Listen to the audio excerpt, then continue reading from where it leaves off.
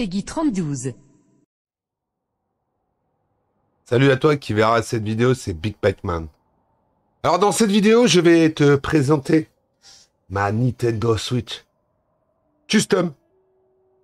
Oui, je l'ai custom. Je l'ai custom, ma Nintendo Switch. Je l'ai custom. Et je peux te dire que je pense que elle est pas mal. Elle est peut-être encore plus détaillée que la TOTK. Alors je te présente la Switch Collector Big Man. Regarde-moi ça, comment c'est beau.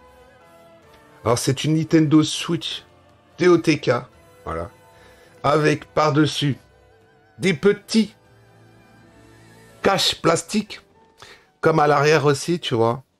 Tu as des petites poignées en plus pour le grip.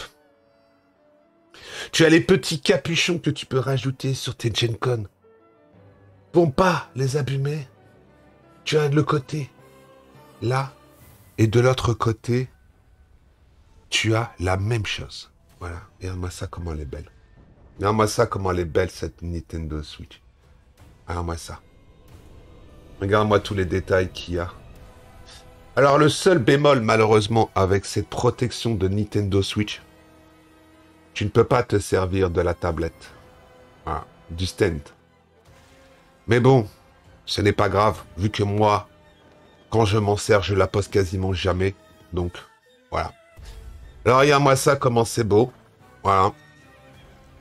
Alors pour information, ça rentre dans le dock. Ça rentre dans le dock. Mais ça force un peu. Alors attends. Non, ça rentre dans le dock. Ça rentre dans le dock. Voilà. Donc, je te présente la protection de Nintendo Switch OLED. Voilà. Je te mettrai le lien dans la description si j'y pense. Ça m'a coûté 20 balles. Tu peux trouver beaucoup moins cher, je sais. Mais c'est quand même du PU. Hein. C'est du caoutchouc de qualité. Et je peux te dire que les impressions à l'arrière vont pas s'effacer puisque c'est tout simplement intégré dans le plastique. Voilà. Bon. Je t'ai présenté ma Nintendo Switch. OLED custom. Voilà. Bon, je te laisse là. Si la vidéo t'a plu, n'hésite pas. Je te dis à plus. Dans le bus